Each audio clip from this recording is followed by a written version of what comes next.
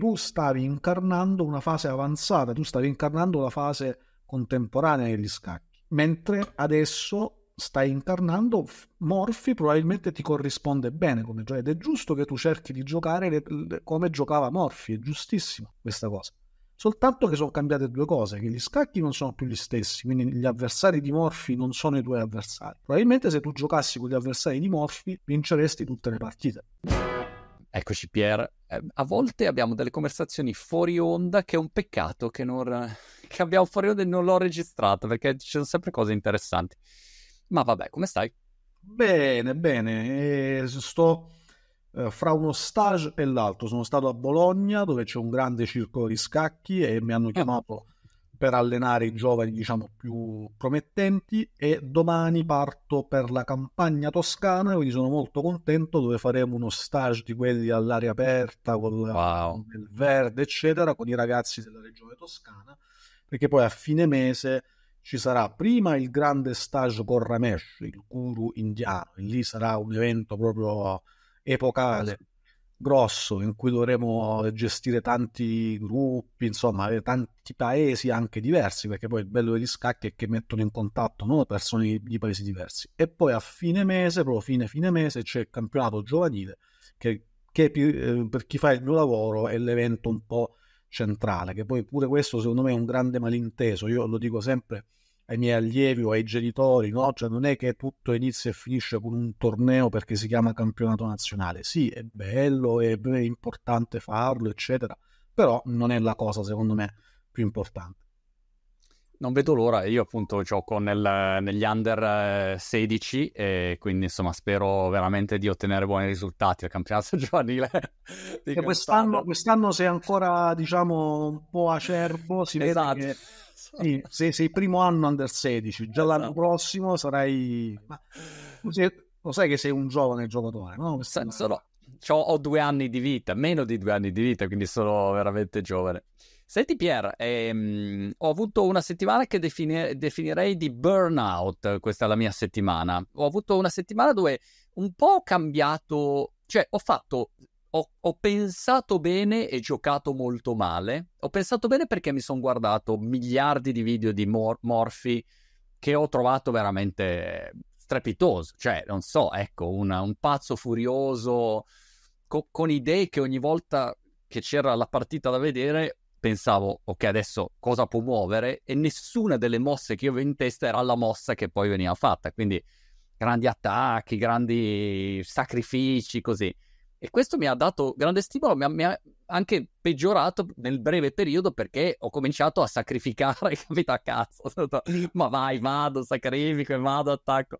Quindi ho avuto quel problema. Poi ho ripreso a giocare la Karokan con il nero, come mi hai detto tu, e, e questa cosa mi ha un po' risballato rispetto a prima avevo il mio schemino con la scandina e quindi mi, mi, non mi sono ancora riaggiustato e ho un problema sulla Karokan evidente che, di cui ti voglio parlare proprio psicologico e di posizione in cui mi trovo sempre in grande difficoltà e per cui insomma sono mm, peggiorato di un centinaio di punti ma mi sento di, di sapere molto di ma più ma gioco sei, molto male. Monti, Monti, non sei peggiorato tu il tuo punteggio il mio punteggio, il mio punteggio tu non, sei, tu non sei il tuo punteggio capito? no è vero è vero. No, no, non so, anzi secondo me sono Guarda, sono molto migliorato io questa settimana perché, mm, come dirmi, ho, ho, visto cose diverse nella mia testa, ecco, rispetto a... Hai, hai scoperto so. la grandezza dei classici, come uno mm. che dice, sì, guarda, ho letto Dante, non mi sembra male, è qualcosa di... non è male.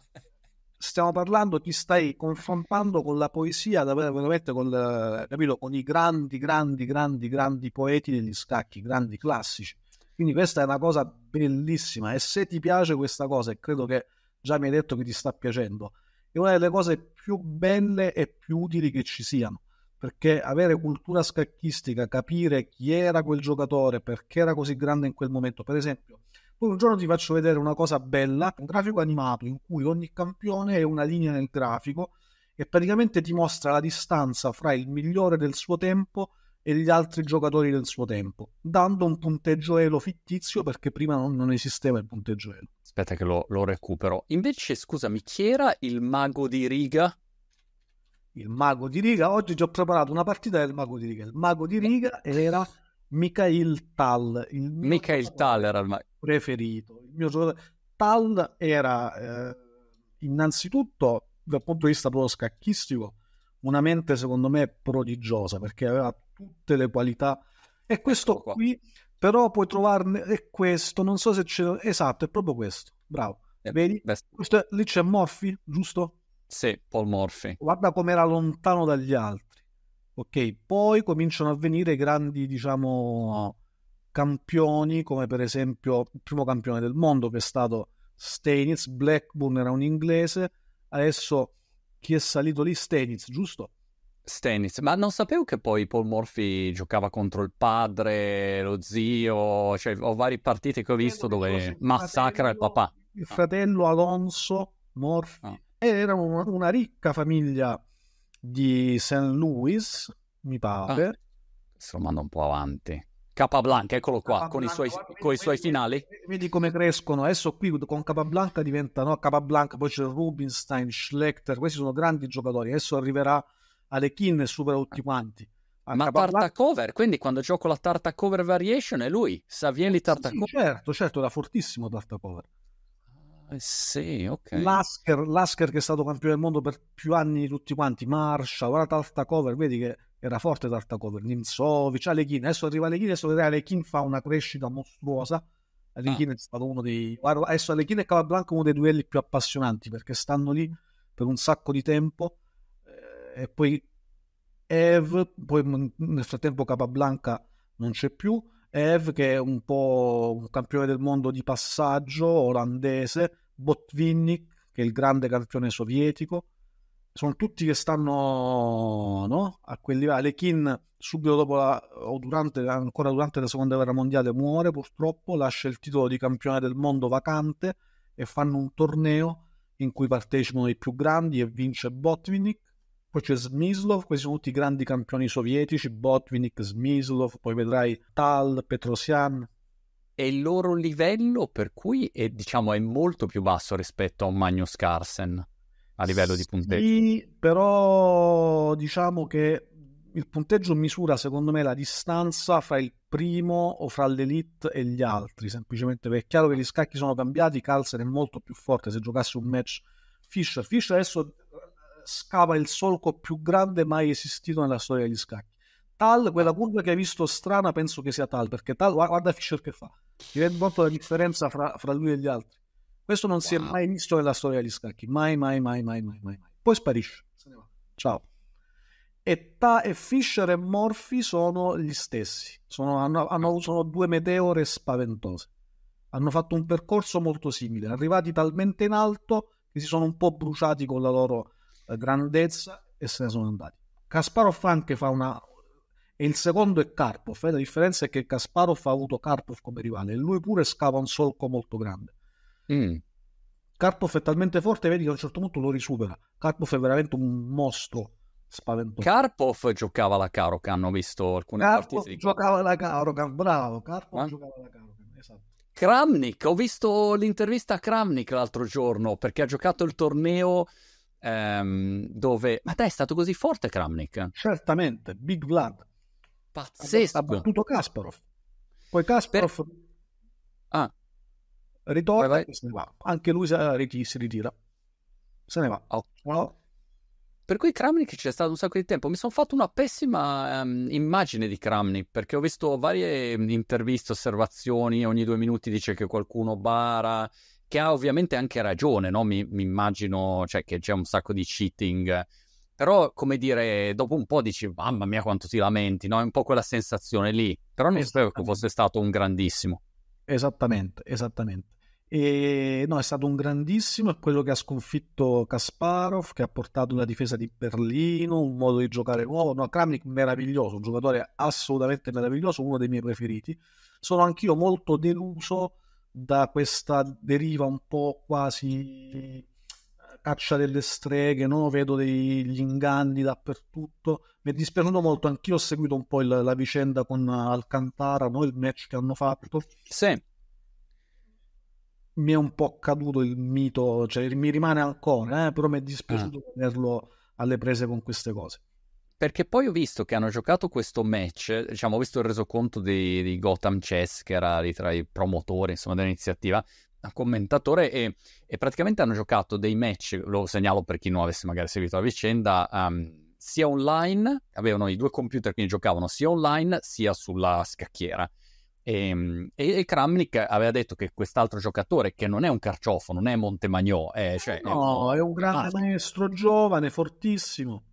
Però aveva avuto insomma, delle accuse di, di cheating, quindi hanno fatto mm, questi match, e, e, diciamo molto equilibrati, però poi c'è, c'è, stata la contestazione, il fatto che i computer eh, non erano sincronizzati perché c'era l'aggiornamento di Windows, quindi so, hanno avuto mille casini, sta vicenda che ha aumentato ancora di più l'idea che ci fosse qualcosa di losco, eh, non lo so, insomma, ehm, però a volte, eh, cioè, se io prendo Rafa Nadal, ehm, prende e gioca, non c'è, cioè, lui prende ma, eh, e massacrava tutti quando era un grande giocatore. Quando inizia a lamentarti in due minuti dicendo ma quello ha fatto, è, è giustissimo secondo me la, l'osservazione del oh non ci deve essere imbroglio, questo è chiaro, però dopo un po' insomma allo spettatore lascia un po' di perplessità forse il continuo cercare sempre eh, un po' com- complottista diventa l'approccio, ecco, questo è un po' la, il problema di percezione.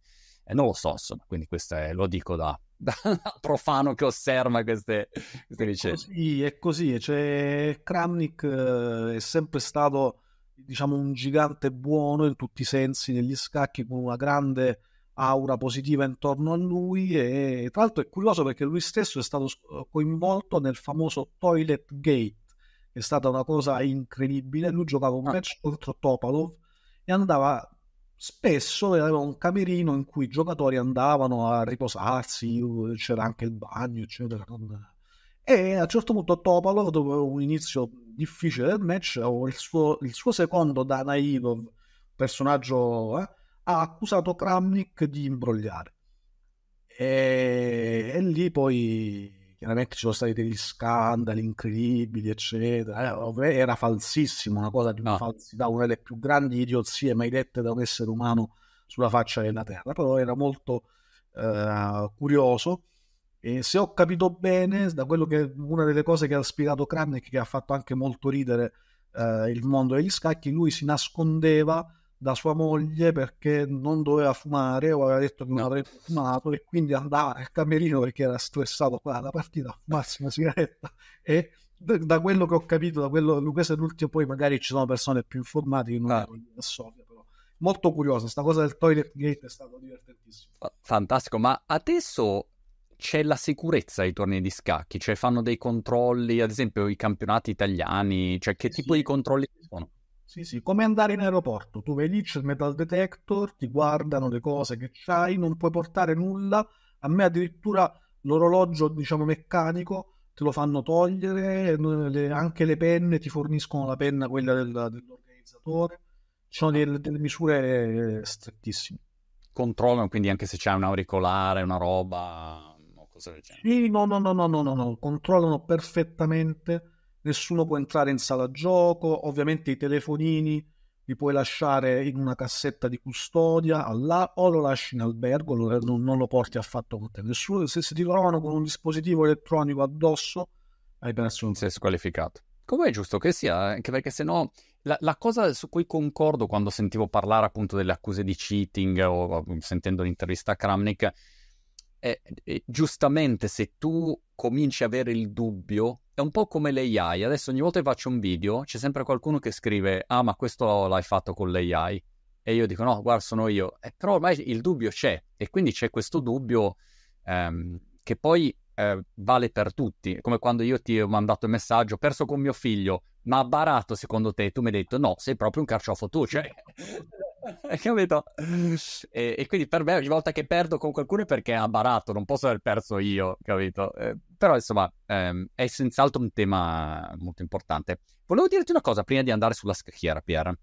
Um, guardando i grandi giocatori giocare, mi sono fatto questa teoria che è un danno nel breve periodo e un vantaggio nel lungo periodo e mi ha ricordato quando da ragazzino il mio allenatore di ping pong mi cominciò a far guardare alcuni grandi giocatori, cioè ai tempi c'erano le videocassette no, nel videoregistratore, E una volta mi dà la videocassetta di questo genio, il Mozart del, del ping pong era eh, uno svedese nome Waldner, eh, totalmente, il dio del ping pong. Per 12 anni ha vinto contro tutti, eh, tutti i cinesi, ma non solo vinceva, era proprio poesia, faceva cose che dicevi, questo come se l'ha inventato? Cioè, faceva proprio dei colpi eh, che si è inventato lui, fuori dal comune. Allora io vedendolo giocare subito ho iniziato a dire anch'io voglio fare quella roba. Quando non so, ti arriva una palla alta facile, al posto di schiacciarla e fargli un buco nel tavolo, fai, oh, non so, uno stop a tornare indietro, difficoltà 5 miliardi e manchi la pallina e perdi il punto che avete un punto già vinto. Quindi cominci a fare delle cagate clamorose. Però ti si apre la testa, nel lungo periodo inizi ad avere un bagaglio di, di opzioni nella testa che prima non avevi, no? E quindi ho provato un po' la stessa sensazione, cioè inizio a fare ho detto anch'io, anch'io, anch'io, e poi faccio le stupidate clamorose. Ieri ho, ho perso una regina, ho pensato sacrifico la regina così, eh, perché mi sembrava una buona idea. ho detto no, che cagata. No, è, è, raramente una buona idea, cioè deve esatto, essere... Esatto, esatto. Comunque, insomma, questo è il, il paragone che, che, mi è venuto in mente. Um, però eh, al momento, insomma... La, la, la, tua teoria è molto interessante, non ci avevo mai pensato, in effetti, eh, avevo sempre pensato che fosse soltanto benefico eh, guardare i grandi, può essere che c'è questo primo momento di straniamento in cui dici voglio provare a imitarlo, ma chiaramente per imitarlo faccio un sacco di errori. Però secondo me la cosa più importante è che rimane il punto d'arrivo, cioè eh, negli scacchi funziona molto no? una visione idealista delle cose. Se io non capisco che cos'è giocare alla Morfi, se non ho in testa una partita alla Morfi, come potrò pensare, caspita, questa mossa sto giocando alla Morfi? Capito? Questo, questa fluidità del gioco, questo, no? anche queste combinazioni. Oggi noi ne vediamo una partita perché tu mi dicevi le, le vinci tutte col bianco, col nero, che cosa Esatto. esatto. Cosa, faceva, cosa faceva Morphy? Un altro... Sì. Vabbè. Credo che serva proprio avere uh, un'immagine come se fosse proprio la posizione finale di una partita. Dici, ok, Morphy è questo. Mm. Un altro aspetto, mm, diciamo, negativo nel breve periodo è a volte un senso di frustrazione. Ho visto un video di Magnus Carlsen che risolve gli endgame come si dice in italiano endgame? I finali, I finali. I finali, i finali. E dopo un po' dici, vabbè, ma vaffanculo, cioè, nel senso, cioè, io non, non, vedo niente, com'è che fai a vedere tutte queste cose? Non lo so. E tu dici, vabbè, è come se vedi Federer giocare a tennis ai tempi, dici, vabbè, ti senti proprio un po' mm, piccolo. Poi ho sentito Gotham Chess dire che a 48 anni il, il, cervello smette di funzionare per gli scacchi, ho detto vabbè ragazzi allora eh, mi deprimo e finisce qua. Insomma, quindi questa è stata la mia settimana, per darti la mia settimana in pillole. Dolorosa, sono, sono, sono, ma... successe, sono, successe, un sacco di cose, ti sei trattato bene, in buona compagnia, Magnus Carlsen. Esatto. E... No, guarda, soffrendo però. Spero che a 40, ma non ci credo perché ci sono stati dei campioni tipo Corcinoi molto longevi, ben oltre 48 anni. Non credo che sia davvero così.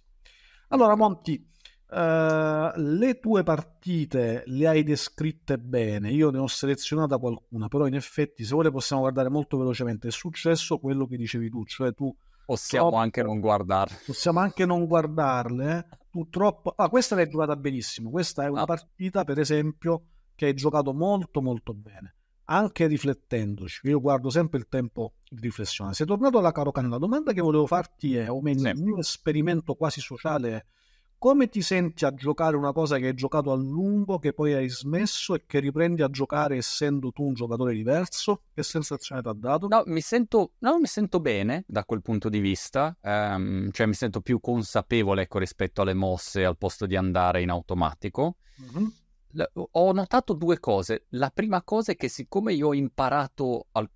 ho fatto il corso della Caro Khan, cioè ho imparato alcune mosse, una cosa che ho notato è che facilmente faccio una mossa in automatico se gioco mm. la Caro Khan, perché mm. sono legato a quell'idea che dico in quella posizione mi sembra di ricordarmi che si muova così mm-hmm. e quindi ho questa tendenza. L'altro problema che ho notato è che quando si arriva in una posizione dove scende il cavallo in uh, E5, lì iniziano i problemi. Cioè lì è una situazione che dico, porca miseria, c'ho sto cavallo in E5 e mi trovo spesso a avere quel... Mentre invece nella Scandinava non mi ritrovavo mai quella posizione lì.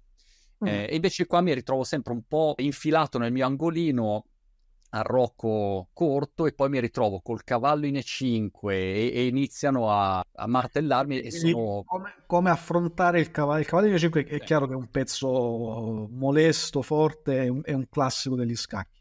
Mi è piaciuto come hai reagito per esempio a 3, sì. hai capito che lui vuole fare D per C5 e poi sostenere il pedone con B4 e giustamente dici cambio subito e sviluppa sì. la reazione classica e molto buona. Fine G4 anche mi è piaciuta, molto interessante questa mossa perché perdi un tempo, però sei sicuro di eliminargli questo cavallo e praticamente rientriamo in questa posizione tipica. Allora, un'altra cosa, per principio, quando ti fanno un'inchiodatura, no? E tu puoi giocare la mossa A6 o H6 eventualmente senza che per l'avversario sia buona mangiare, perché qui se mangia rimangi di cavallo e vabbè, ti ha dato mm. alfiere, pazienza per principio si fa. Okay. Perché quando l'alfiere rimane qui, facciamo finta che ci siano sequenze tattiche, problemi, eccetera. Tu avrai sempre l'ancora di salvataggio B5. Mm. Mentre se stai in B5 non hai nessuna ancora di salvataggio, può catturarti il cavallo quando vuole. Non ho capito. L'alfiere in B5 facciamo finta che ci sono delle sequenze tattiche precise, no? in cui a un certo punto per lui sarebbe importante fare alfiere per C6.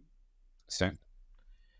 Lo può fare quando vuole, perché in qualsiasi momento può fare alfiere per C6, ma se certo. tu hai incluso A6 alfiere A4, le tue sequenze tattiche possono partire con B5, quindi l'alfiere non sarà più in grado di mangiarti il cavallo. Giusto. Hai la sicurezza di spezzare l'inchiodatura a piacimento, quando vuoi la spezzi. Ok. Ok, quindi è meglio mettere l'alfiere defilato. Ok, una, uh, una considerazione che, che, a volte faccio in questa posizione è che se mangio, cioè mi piacerebbe arrivare in quella posizione che non devo mangiare con il pedone B. B perché eh poi sì. mi ritrovo il mio pedoncino isolato sulla sua colonna A e, e... Sì però in questa partita l'hai usato molto bene. Diciamo che il pedone B non è, non è, drammatico. Anche cavallo F5 è interessante come mossa perché se ti mangia e ti ritrovi col pedone B, col pedone C, hai il piano di fare successivamente C5. Sì.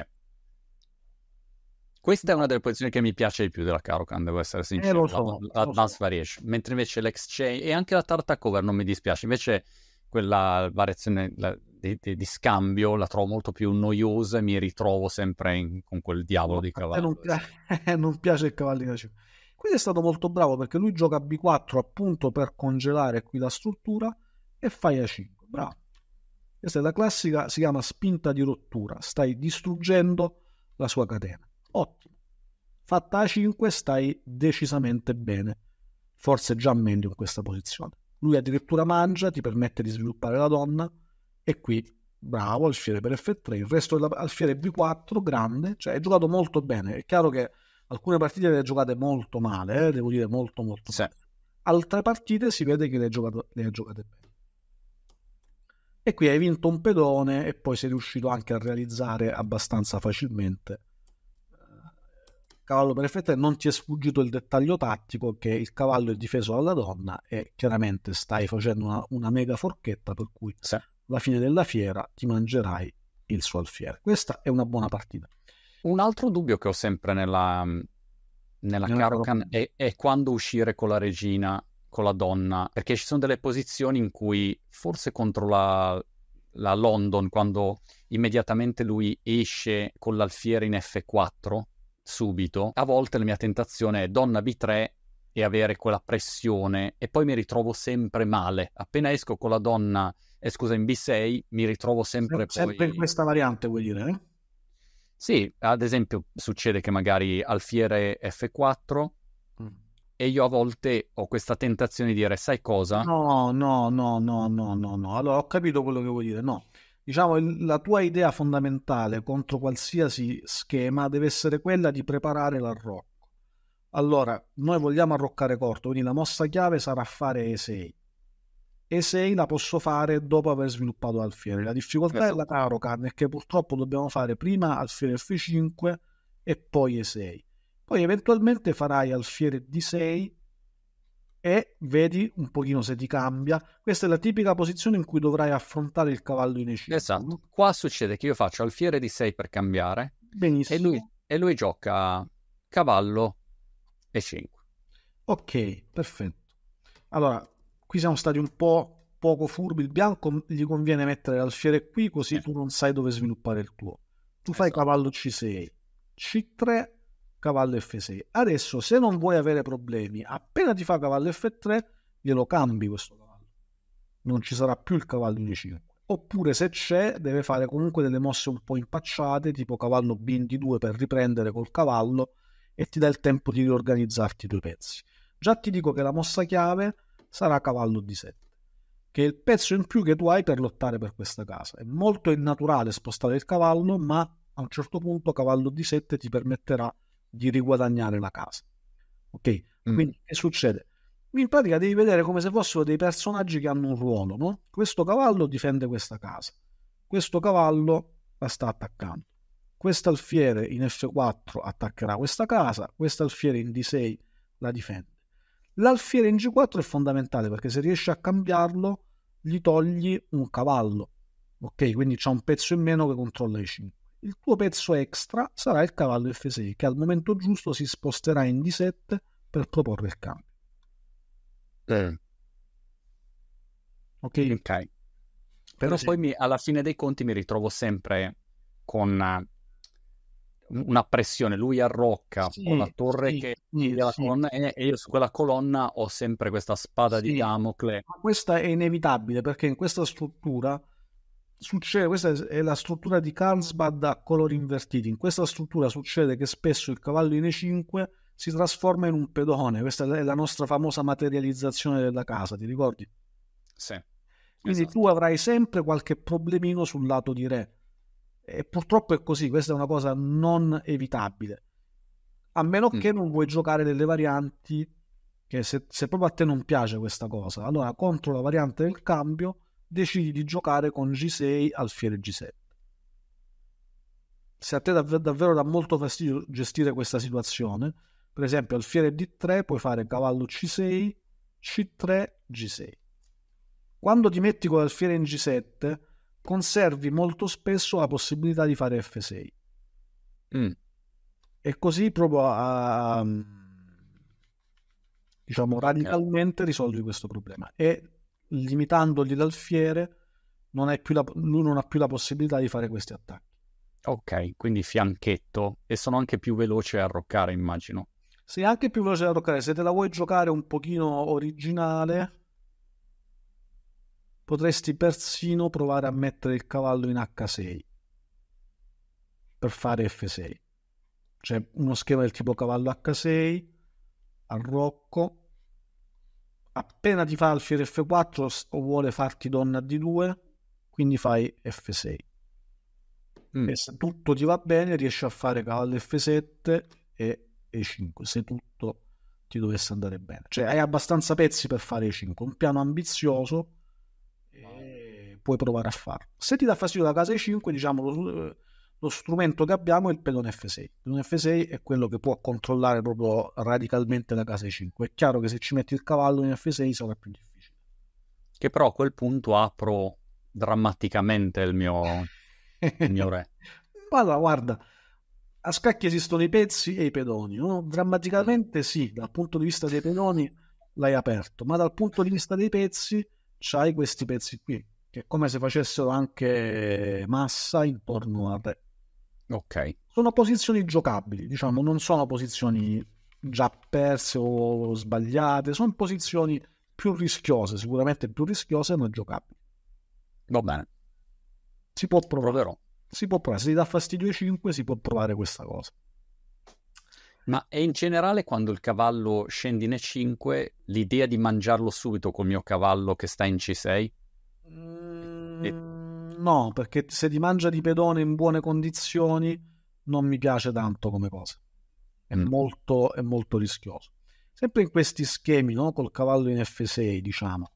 Uh, qui la variante probabilmente più corretta è alfiere F4 alfiere G4. Sì. L'avrai vista non nel corso. Esatto. Sì, sì. E qui si gioca donna B3 e devi scegliere come difenderti. La cosa curiosa, um, ho giocato per tantissimi anni col bianco questa variante e tra l'altro una mia partita contro un giocatore che è stato campione europeo, è avuto campione d'Europa, grande maestro polacco Macieglia, è stata scelta da un, dall'autore di un bel libro che si chiama Sedlak, un grande maestro, credo serbo, come modello per il gioco del bianco in questa posizione.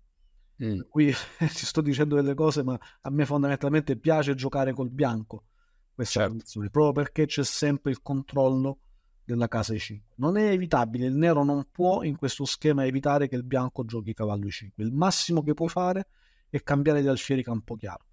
Che quando arriva il cavallo in E5, per esempio, qui la mossa credo...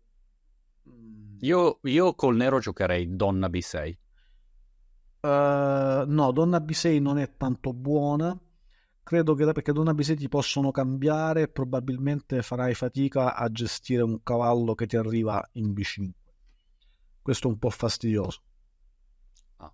La mossa tradizionale è donna D7, cavallo D2, E6, cavallo F3 e qui alfiere D6. È una buona mossa che non conviene mangiare in D6 e mangiare in B7. Mi pare che questa non sia granché.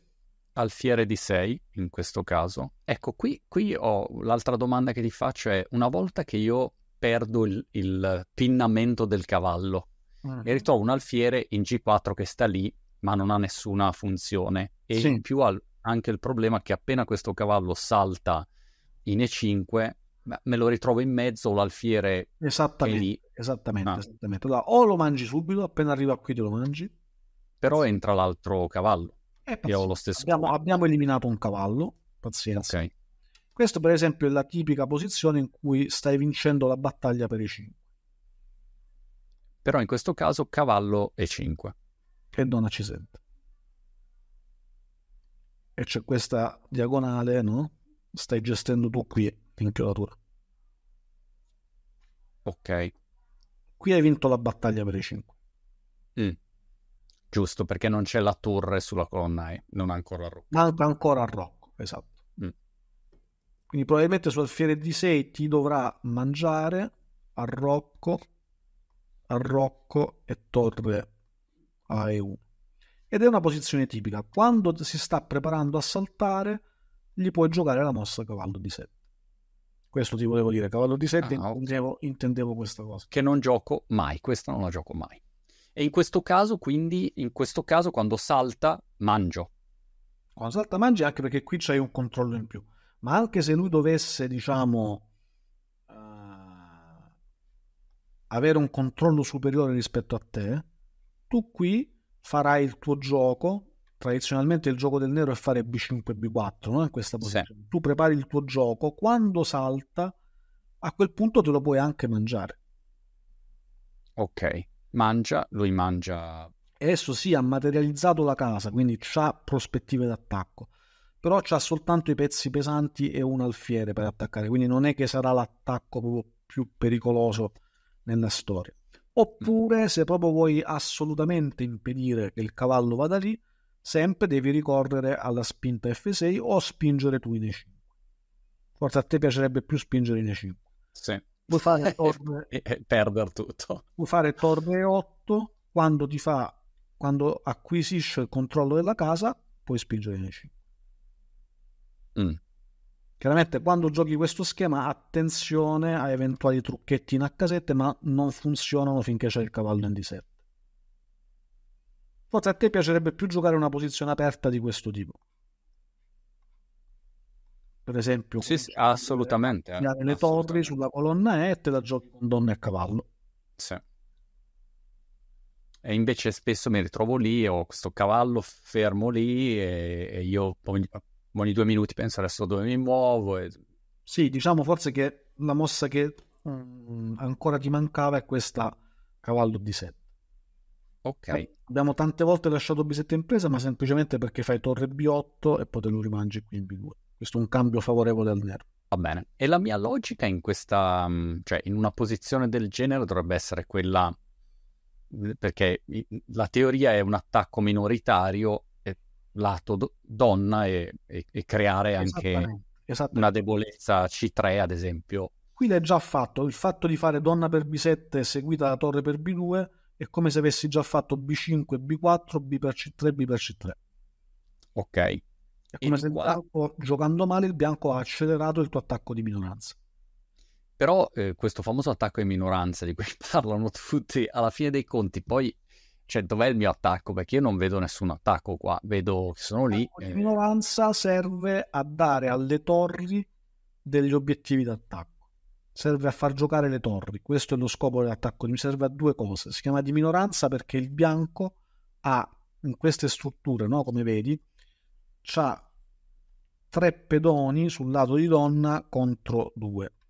Quindi questa è la maggioranza e la maggioranza è pericolosa perché a un certo punto può produrre un pedone passato. Se rimane bella sana, se rimane bella con i pedoni, eh, diciamo, sulle case di partenza o quasi. Quando i pedoni avanzano male o quando con dei cambi li danneggi, non producono più pedoni passati, quindi stai svalutando un suo asset molto importante. Ecco perché attacco di minoranza, ma soprattutto serve ad aprire delle colonne. Che quando tu fai BC, facciamo finta che il bianco non fa nulla e il nero gioca un bel attacco di minoranza. No? Il bianco gli facciamo fare mosse del tutto sì. casuali, ci piazziamo qua, ma neanche che vi metto direttamente a fare B4, B per C, B per C, torre B8, donna via. Qui c'è un pedone incidentalmente in presa, ma facciamo finta che non sia in presa, oppure giochiamo a 5. E... Torre C8, e qui vedi che le torri nere hanno una una colonna aperta e un'altra un gustosissimo pedone arretrato su colonna aperta che posso attaccare.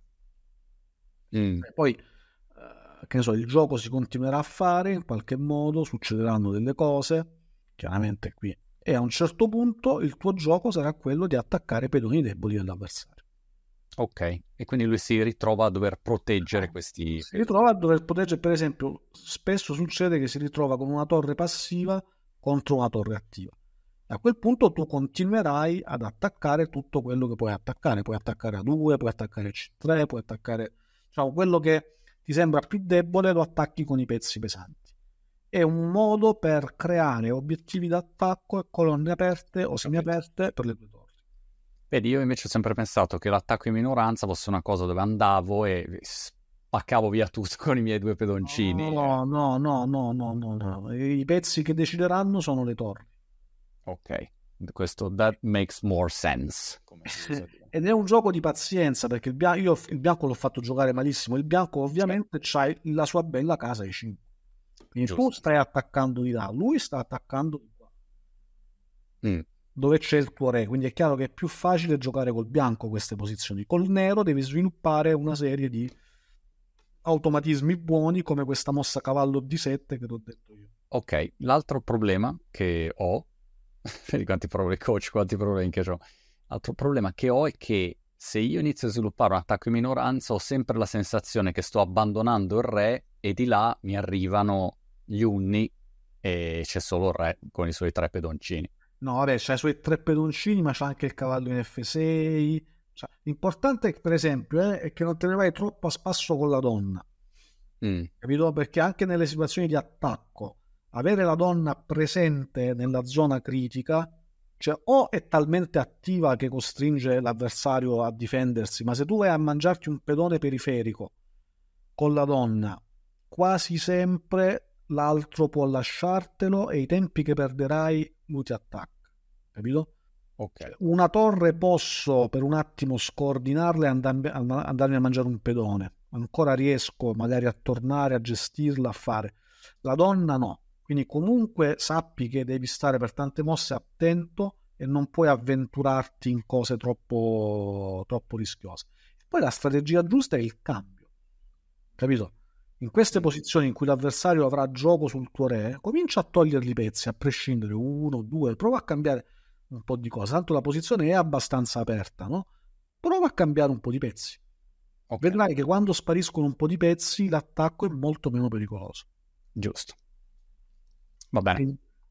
Allora ti faccio vedere, io ti volevo fare vedere due cose, ti volevo fare vedere Morphy da nero, mm. questa è molto famosa, Schulten Morphy. Immaginare, no? Questa è una teoria bellissima, la teoria dello sviluppo del pensiero scacchistico storico logico. Questa non mi appartiene questa cosa, mi piacerebbe averla inventata, ma non l'ho inventata. Questa io l'ho sentita dal grande maestro Lexi Ortega, che è un grande maestro cubano italiano e eh, con lui, diciamo, da tanti anni facciamo insieme dei progetti di insegnamento, abbiamo tanti allievi, lui è il direttore della scuola eh, nazionale di scacchi, eh, della, scuola, della scuola federale. E l'idea è quella che Morphy, per esempio, rappresenta lo scacchista di un anno. Capito? Tu in questo momento potresti essere Morphy. Mm. Lo sviluppo della storia degli scacchi, lo sviluppo degli scacchi in quanto attività umana ha seguito un percorso dall'infanzia alla vecchiaia. Non so in che fase stiamo adesso del, dello sviluppo del, degli scacchi. Forse gli scacchi sono sempre giovani. Potremmo anche eh, sviluppare questa teoria dicendo che un gioco o un'attività umana rimane sempre giovane come il frutto no, del vecchio melo sarà sempre un frutto giovane. Possiamo anche sviluppare questa teoria. Ma il senso per lo sviluppo del giocatore qual è? Che tu all'inizio devi incarnare la fase che ti corrisponde, ok? Ecco perché io ti ho voluto decostruire come giocatore, perché tu stavi incarnando una fase avanzata, tu stavi incarnando la fase contemporanea degli scacchi, capito? Mentre adesso stai incarnando Morphy probabilmente ti corrisponde bene come gioco ed è giusto che tu cerchi di giocare le, le, come giocava Morphy, è giustissimo questa cosa soltanto che sono cambiate due cose, che gli scacchi non sono più gli stessi, quindi gli avversari di Morphy non sono i tuoi avversari. Probabilmente se tu giocassi con gli avversari di Morphy vinceresti tutte le partite. Mm. Questo, questo, vorrei vederla dimostrata questa teoria, ma facciamo perché erano, erano, forti pure loro, eh? cioè, anche se molte sono partite casuali, no? partite giocate. Partite a volte gioca senza dei pezzi addirittura. e ti sei visto un sacco di partite. Sì, sì. Parte, gioca senza torre, senza cavallo, così. Grandissimo. E poi chiaramente eh, sono cambiati gli avversari, è cambiato anche il tempo, no? Per cui non si può pretendere di riprodurre esattamente lo stesso pensiero, cioè proprio l'essere umano è cambiato nel frattempo, quindi non è, non è perfettamente, questo esperimento non si può fare. Però è molto utile impadronirsi delle qualità della bravura dei maestri che in un momento hanno incarnato qualcosa. No? C'è stata, negli scacchi ci sono state tante età, l'età di Morsi e l'età detta romantica, il gioco romantico, capito?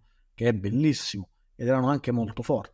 Poi gioco romantico è stato messo in discussione dai classicisti, diciamo, dal primo campione del mondo che ha detto no, no, lasciamo stare tutte queste follie, ci sono delle leggi c'è stato una specie di illuminismo, diciamo, scacchi dicevano no, no, gli scacchi non sono quello che pensate poesia, gli scacchi sono leggi rigorose. Poi ci sono stati gli ipermoderni che hanno detto no, no, ma stai scherzando, eh, magari non è come faceva Morphy, però non è neanche che ci sono soltanto queste leggi, ci sono nuove leggi ipermoderne e poi via dicendo ci sono state tante, no? c'è la scuola sovietica, ci sono state tantissime cose fino agli scacchi dell'intelligenza artificiale, capito? Una cosa molto e probabilmente negli ultimi anni gli scacchi stanno cambiando più di quanto sono cambiati, non dico in tutta la loro storia, ma in un pezzo grande della loro storia. Wow. Come giocava Morphy col nero? Ecco. Innanzitutto gli giocavano quasi sempre il gambetto di re. All'epoca c'erano due modi di giocare col bianco, il gambetto di re e il gambetto Evans. Che è quello che gioco io. Tipo quello che giochi tu, il gambetto Evans è questo qua.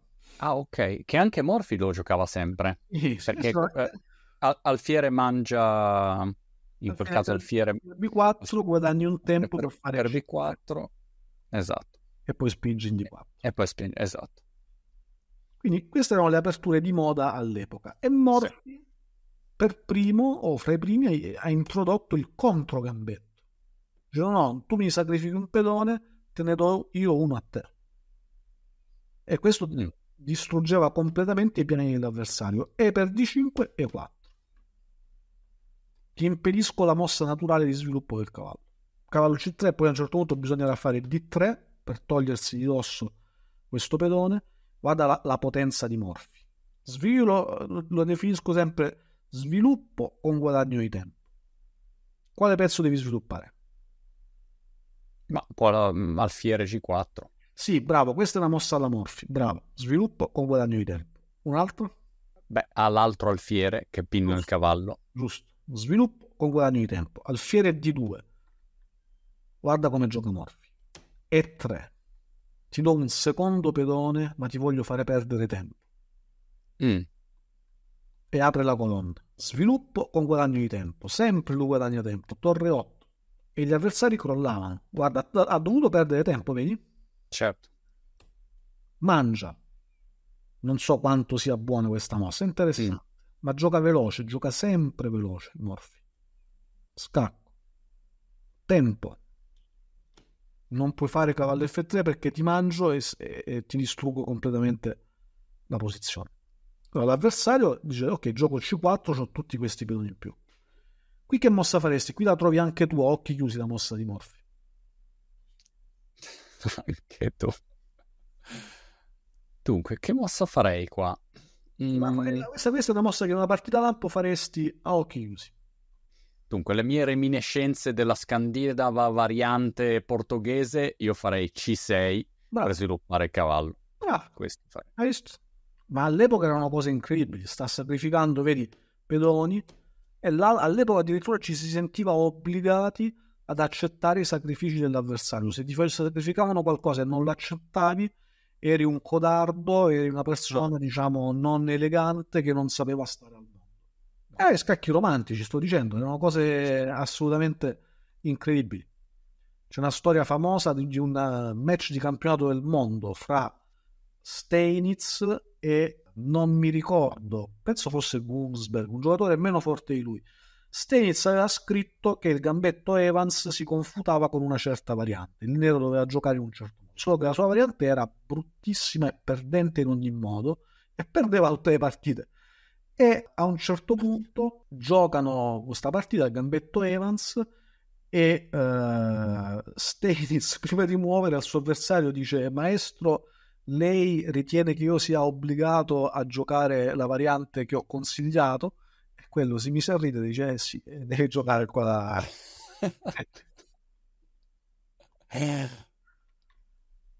Ok, D per C6, cavallo per C6. Qui il bianco gioca F1 che non è neanche insensata come mossa perché vorrebbe finalmente fare cavallo F3, però Morphy usa la, te- la sua tecnica preferita che è quella della diciamo semplificazione no? dei pezzi eh, sviluppati dell'avversario con i suoi pezzi per avere sempre più vantaggio di sviluppo, quindi torre per 2.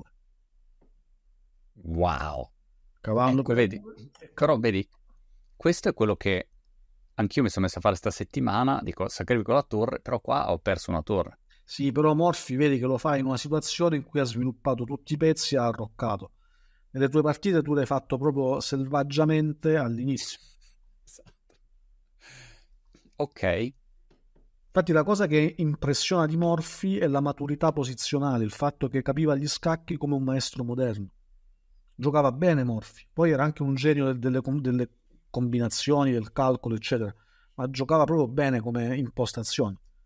Mm. Torre per E2, cavallo per E2, cavallo di 4. Adesso il bianco perde materiale, sposta la donna perché sennò perde pure la donna, e poi i maestri dell'epoca erano straordinariamente forti nelle, eh, nel gioco concreto, diciamo, nel calcolo, nelle combinazioni, quindi per questo hanno prodotto de- degli autentici gioielli. Scacco.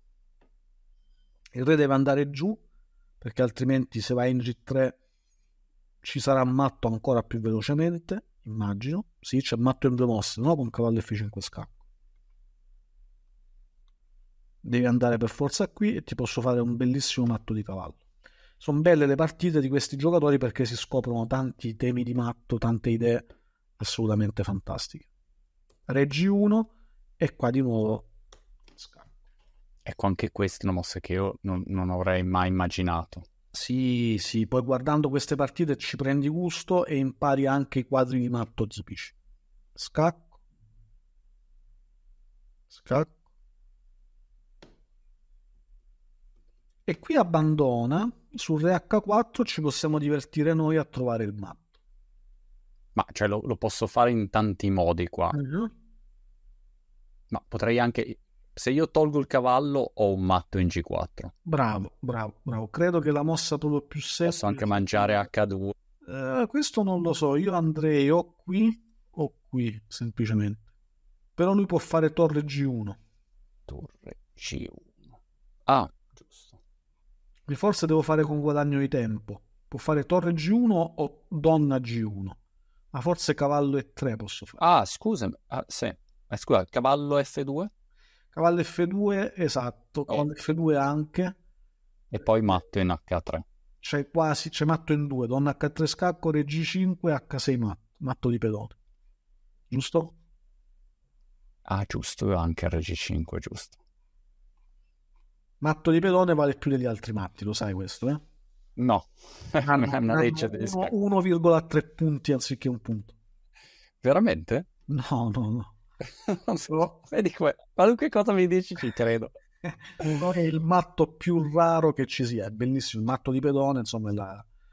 che quando fai i problemi, risolvi i problemi su chess.com è sempre matto di pedone, che a me non è mai successo in partita, però eh, esatto. matto di pedone, matto di cavallo, mai successo in vita. Esatto, esatto.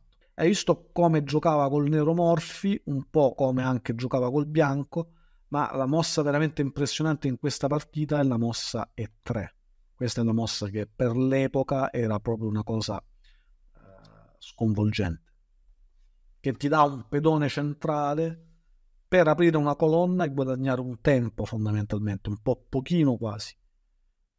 E invece, vedi, i pezzi neri sono tutti belli organizzati, ha già arroccato e gli manca soltanto di sviluppare il cavallo. Quindi Morphy aveva una visione d'insieme del gioco, tutti i pezzi insieme, tutti i pezzi collegati. Gli avversari non si difendevano perfettamente, però eh, mentre oggi per esempio si difenderebbero molto meglio, quindi giocare così, eh, insomma, è, è rischioso, no? Però ti insegna questo senso dell'armonia dei pezzi, il fatto di farli giocare tutti insieme cosa che non stai riuscendo a fare col bianco perché troppo presto ti butti a capofitto. Sembri non sì. morfi, sembri gli avversari di morfi. Sì, sì, stai, giocando, stai giocando come i giocatori romantici dell'epoca che alla prima occasione di sacrificare sacrificavano sempre per spirito cavalleresco, per dire eh beh posso sacrificare e sacrifico. Invece col bianco dovresti imparare la pazienza. Pensa di essere morfi e in più c'è il bianco. Pensa che bella cosa. Mm. Però molte partite di Morphy lui parte subito, cioè non è che sta lì a aspettare. Allora, parte subito anche perché gli... allora, quando il fatto di partire subito, per esempio, eh, c'è una partita delle tue che illustra questo tema. Quando parti... illustra questo approccio che ho romantico agli scacchi, sì. al sacrificio. Sì, quando parti subito devi partire per un motivo, devi partire perché c'è stato un errore da parte dell'avversario. Allora, per esempio, a volte sei partito bene, questa qui l'hai giocata anche molto bene. Giochi il nostro gambetto morra ritardato con C3, D per C3, al cavallo per C3, lui fa E5, un po' strana, bravo, alfiere C4, reazione giusta, attacchi. E io in questa posizione mi sento bellissimo, cioè io qua sono pronto e penso qua gli faccio male. Se sbaglia gli faccio male. Sì, allora lui qui fa un errore molto grave, alfiere 7 errore grave, ok? E quindi tu lo punisci trovando la mossa giusta. Donna D5. Donna D5 non è la mossa giusta in base ai principi degli scacchi. In base ai principi degli scacchi la mossa giusta sarebbe a Rocco. Giusto. Però, però, voglio dire, ho pensato... Però lui ha sbagliato. Ferma, no, no, è giustissima, è una mossa vincente, hai fatto bene, devi fare così. Mm. Ma perché lui ha sbagliato. Cioè, se lui avesse fatto Cavallo F6. D6, facciamo finta. Ok, lui non ha fatto cavallo F6 perché ha avuto paura di cavallo G5. Che è una mossa che non gioco quasi mai. Eh no, è fastidiosa, ma perché stanno giocando, qui il nero sta giocando col pedone 5 e ha dei grossi problemi su F7. Quindi qui il nero sta maluccio. Forse l'unica mossa per contenere un po' è giocare D6. Però su cavallo G5 devi fare cavallo H6. Che non è il massimo, ma vabbè. Mm. Ok. Questa, scusami, questa qua l'ho vinta però. Sì, sì, questa l'hai vinta anche uh, immediatamente. Hai fatto donna D5. Ok. Cioè, no, chiedo perché se l'hai giocata molto tranquillamente bene, averla Questa l'hai giocata molto bene e l'hai anche calcolata molto bene perché qui hai fatto cavallo B5 ottima, ottima. Per bloccare C7. Cavallo B5 rispetto al livello dei tuoi avversari è una, è una mossa molto, molto più, più alta del loro livello, capito? Perché se li togli da casa C7 minacci matto, qui sei stato molto bravo, cavallo B5 hai preparato il matto, è una mossa brillante, una mossa che lascia sempre lui deve cambiare le donne, ti mangi la torre e poi con la torre in più, diciamo, questa volta non hai avuto problemi a realizzare il vantaggio. Lui qui ha abbandonato perché non poteva fare non poteva fare, tu basta che sposti la torre, ti deve mangiare, ma c'ha sempre questa torre in meno e non riuscirà in nessun modo a cavarsela. Qui è anche un matto rapido, fai alfiere B3 e già minacci torre C7 matto. No, non è matto perché vai in A8, però è diciamo un modo molto molto sbrigativo di chiudere la faccenda. E questa qua credo, eccola qua, eccola qua. Allora, che succede? Cioè fondamentalmente, no? All'inizio si seguono dei principi. Lui fa B6, B6 è una mossa sbagliata. Perché? Perché sì. apre una seconda strada all'alfiere e non fa nulla per sviluppare il lato di re dove dovrà arroccare, giusto? Sì. Quindi sì. tu giustamente lo punisci giocando in maniera aggressiva. Alfiere C4, molto bene. Già qui avresti potuto fare D per C. Non so mai se mangiare o meno.